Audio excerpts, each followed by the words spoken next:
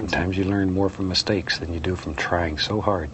Anytime you make a mistake, before you get upset with it, look at it. Sometimes those mistakes turn into be the best learning devices we have.